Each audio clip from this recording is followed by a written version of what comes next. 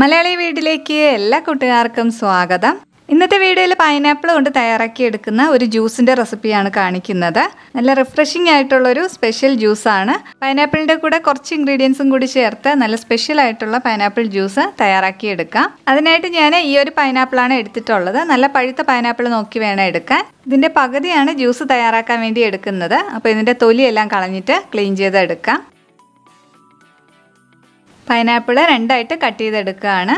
ഇതിന്റെ ഈ ഒരു പീസാണ് ജ്യൂസ് തയ്യാറാക്കാൻ വേണ്ടിയിട്ട് എടുക്കുന്നത്. അപ്പോൾ ഇതിന്റെ തൊലിയെല്ലാം കളഞ്ഞെടുക്കാം. അപ്പോൾ ഇത് അത്രയും പൈനാപ്പിൾ നല്ലപോലെ ക്ലീൻ ചെയ്തെടുത്ത് വെച്ചിട്ടുണ്ട്.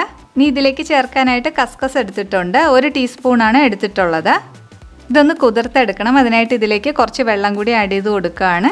ഒരു കാൽ കപ്പ് വെള്ളം എടുത്തിട്ടുണ്ട്. ഇതിലേക്ക് ഒരു ടീസ്പൂൺ പഞ്ചസാരയും കൂടി ചേർത്ത് കൊടുക്കാം. ഇത്രയും നല്ല പോലെ ഒന്ന് മിക്സ് ചെയ്തിട്ട് മാറ്റി വയ്ക്കാം ഇത് നമ്മൾ ആഡ് ചെയ്യുന്ന സമയത്ത് തന്നെ നല്ല പോലെ കുതിർന്ന് കിട്ടും. ഒരുപാട് നേരമൊന്നും വെച്ചിരിക്കേണ്ട ആവശ്യമില്ല.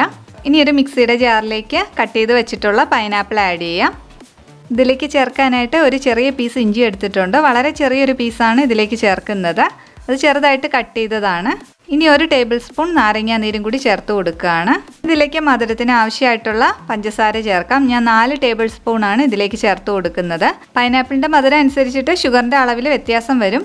അപ്പോൾ ആദ്യം കുറച്ച് ചേർത്ത് നല്ല പോലെ ഒന്ന് അടിച്ചെടുത്തിട്ട് ലാസ്റ്റ് ടേസ്റ്റ് ചെയ്ത് നോക്കിയിട്ട് വേണമെന്നുണ്ടെങ്കിൽ കൂടുതൽ ചേർത്ത് കൊടുത്താൽ മതി. ഇതിലേക്ക് ആവശ്യമായിട്ടുള്ള വെള്ളം ചേർത്ത് കൊടുക്കാം. ഞാൻ ഒരു കപ്പ് തണുത്ത വെള്ളമാണ് ഇതിലേക്ക് ആഡ് ചെയ്യുന്നത്. ഇത്രയും കൂടി ചേർത്ത് നന്നായിട്ടൊന്ന് അടിച്ചെടുക്കാം. അപ്പോൾ നല്ല പോലെ ബ്ലെൻഡ് ചെയ്തെടുത്തിട്ടുണ്ട്. ഈ ഒരു ടൈമിൽ ഒന്ന് ടേസ്റ്റ് ചെയ്ത് നോക്കിയിട്ട് മധുരം കൂടുതൽ വേണമെന്നുണ്ടെങ്കിൽ ചേർത്ത് കൊടുക്കുക എന്നിട്ട് നല്ല പോലെ ഒന്നുകൂടി ബ്ലെൻഡ് ചെയ്തെടുക്കാം.